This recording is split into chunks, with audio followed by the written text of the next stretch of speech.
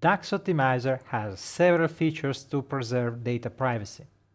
First of all, you can decide to upload to the cloud a version of the semantic model that is obfuscated.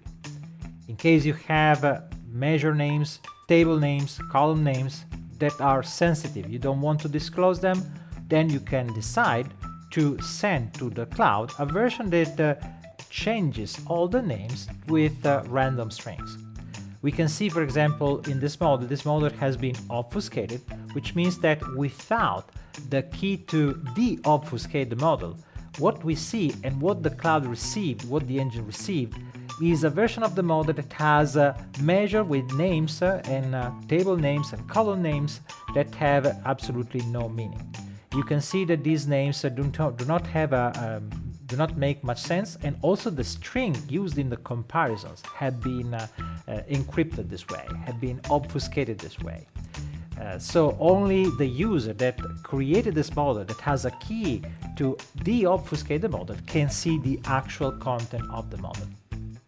Moreover, you can decide to store the data in the region that you prefer. DAX Optimizer has the ability to switch the region where you want to store the data.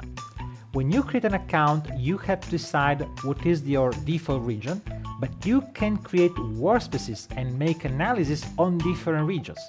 In case you have customers in different continents, for example, or in different countries, you could decide to use different data centers for uh, storing the information of different customers.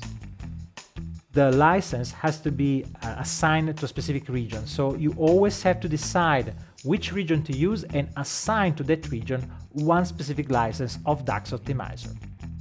So this feature allows you to make sure that the data is stored where you want and of course, if you need to store data in regions that are not available yet, contact uh, Tabular Tools, our company, to understand whether the region that you need can be added in the regions that are available. We use Azure as a service, so all the regions available in Microsoft Azure are potentially available for DAX Optimizer depending on the demand from the customers.